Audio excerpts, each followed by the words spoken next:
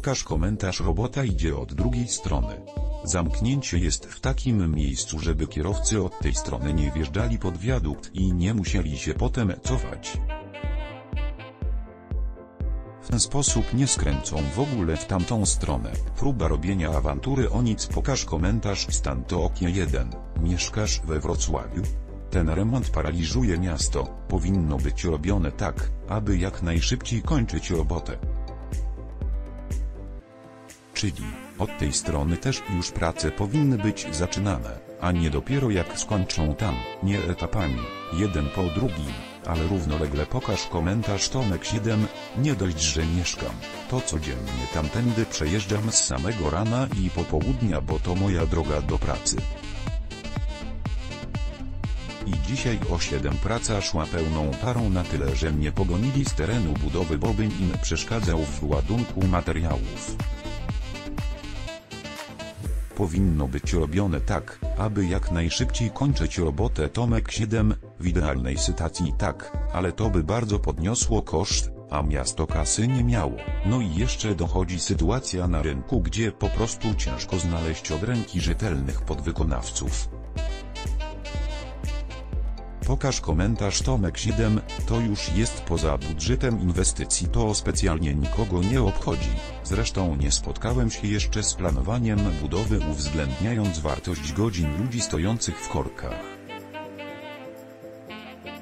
Jak komuś przeszkadza stanie w korkach, a mam nadzieję, że tak, to pozostaje przesiadka na tramwaj albo rower pokaż komentarz Tomek 7, przy ogromnych zakresach tak można robić. Robimy teraz jeden dużą budowę w Krakowie i leci mnóstwo frontów robót naraz, ale akurat ta robota na Pułaskiego nie jest za duża i jakby chcieć zatrudnić ludzi do pracy na kilka frontów to teraz by mieli co robić a już za miesiąc by nie mieli co robić, a płacić trzeba. U nas ma być jak najtaniej i w miarę na czas. Pokaż komentarz ale ludzie to mają mieć kasę na stanie w korkach i marnowanie benzyny slash czasu Tomek 7, zamiast marnować benzynę i czas nie zbawiłoby ich przesiąść się na miesiąc, czy dwa do autobusów i tramwajów, zamiast wozić powietrze na pozostałych trzy siedzeniach samochodów. Problem gdy to co najmniej zmniejszyło do akceptowalnego poziomu pokaż komentarz Tomek 7 Grothar, a po co ta ironia? Naprawdę nie może nic być robione porządnie. Nie neguję, że remont jest potrzebny, ale mógłby być bardziej przemyślany no ja ci pokazałem jak wygląda zadowolenie ludzi przy każdej opcji. Zawsze znajdzie się grupa ludzi, której pora nie będzie pasować. Zawsze. Pokaż komentarz nie zgodzę się, mogli najpierw skończyć chłopską, potem zrobić kolejny objazd i zamknąć wiadukt.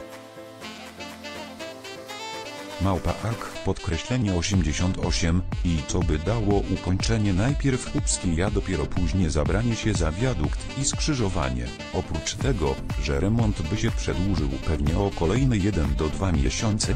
Przecież tam nie ma którędy zrobić dodatkowych objazdów. Ostatecznie i tak wszyscy trafiają na Borowską przy Wrocławiu i pokaż komentarz Tomek 7, ale co Piłsudskiego ma wspólnego z sytuacją przy Chłopskiej, bo nie rozumiem. Pokaż mi gdzie na Borowskiej chciałbyś mieć buspas, żeby samochody nie stanęły w 10 km korku.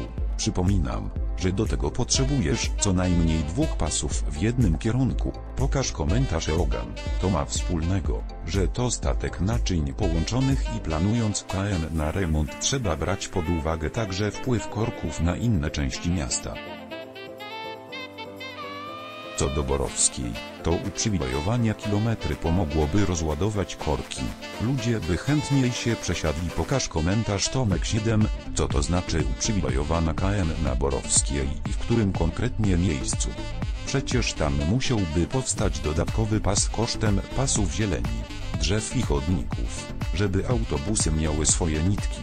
Bez tego tam co 100 m są rozjazdy do bocznych uliczek więc nie ma możliwości niczego wydzielić. Pokaż komentarz Tomek 7, we Wrocławiu macie jebniętego prezydenta miasta. To co on robi u was z drogami to jakiś koszmar, dziwię się bardzo społeczności lokalnej, że pozwalacie mu takie cyrki, Aż się nie chce wjeżdżać do Wrocławia, mało tego zaczyna mieć obiekcje do autostrady A4 nie dość, że wam uprzykrzył życie to jeszcze pajacuje gdzie indziej. W całej Polsce nie ma tak długich świateł dla pieszych jak we Wrocławiu.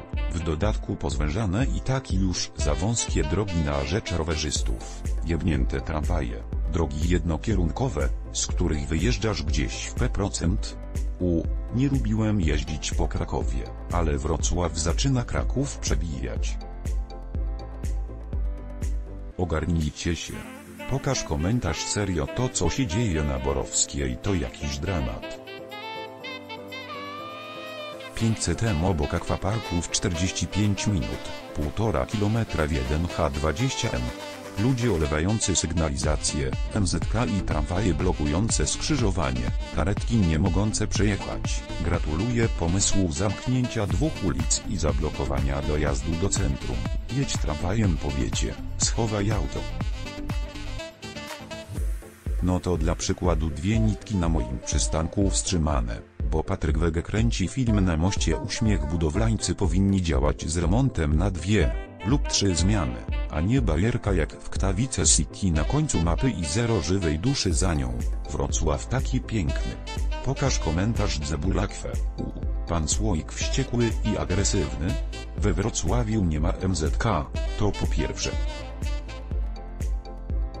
A po drugie, o tej inwestycji wiadomo było od grubo pół roku, a od dwa tygodni lokalne media trąbiły, że będzie remont, będzie zamknięte i jak będzie wyglądać organizacja ruchów w rejonie. Chyba, że we Wrocławiu jesteśmy od wczoraj, to można się tłumaczyć, że się nie wiedziało. Pokaż komentarz Zebulakwe. Przede wszystkim trzeba być SP znak zapytania hash znak zapytania wykrzyknik małpa hash iną umysłową, żeby zamknąć suchą dla wszystkich poza taksiarzami. Dworzec to nie jest muzeum lotnictwa, żeby tam robić ekologię, to newralgiczne komunikacyjnie miejsce i powinno mieć dojazd z sześciu stron plus tunele wyjazdowe z parkingu podziemnego w trzech kierunkach. Robili tam ten parking niedawno, nie dało się. Po drugie, wyj znak zapytania procent znak zapytania ci wszystkie wraki poparkowane na jezdniach, serio. Taka na przykład studzienna to jakieś nieporozumienie, powinna być normalną, dwukierunkową drogą. Po trzecie, Borowska ma jeden pas do jazdy w stronę centrum. Już dawno powinni wyjść znak zapytania procent znak zapytania ci ze trzy sklepiki spod estakady i zrobić więcej pasów na przejazd. Estakada ma ze 100 lat, ale już wtedy umieli ją zrobić tak, żeby się dała konfigurować w zależności od potrzeb. Odjazd do Pułaskiego powinien być wytyczony dwoma pasami na całej długości. Na przykład powinni ten ruch puszczać krakowską. W dalszej perspektywie mogliby wyjść znak zapytania procent znak zapytania ci te 200 km torów położonych w centrum towarowe i tak tędy nie jeżdżą, tak samo wyjść znak zapytania procent znak zapytania ci osiedle dla kolejarzy i menelstwo z Małachowskiego. Pomysły można mnożyć, ale ten urząd nie nadąży z ich pojmowaniem. Pokaż komentarz u, pan Słoik wściekły i agresywny? We Wrocławiu nie ma MZK, to po pierwsze. A po drugie, o tej inwestycji wiadomo było od grubo pół roku, a od dwa tygodni lokalne media trąbiły, że będzie remont, będzie zamknięte i jak będzie wyglądać organizacja ruchów w rejonie. Chyba, że we Wrocławiu jesteśmy od wczoraj, to można się tłumaczyć, że się nie wiedziało. Wiedro, to chyba nie do mnie. Pokaż komentarz i podkreślenie se. Pixels, jesteś idiotą. Specjalnie zamknęli Pułaskiego podczas remontu chłopskiej, żeby zrobić wszystko naraz i szybciej. Jakby zamknęli Pułaskiego po remoncie chłopskiej, to byś narzekał hurra czemu nie zrobili tego od razu dur w normalnym kraju to by od razu całość zrobili korzystając z tego że dalsza droga i tak zamknięta.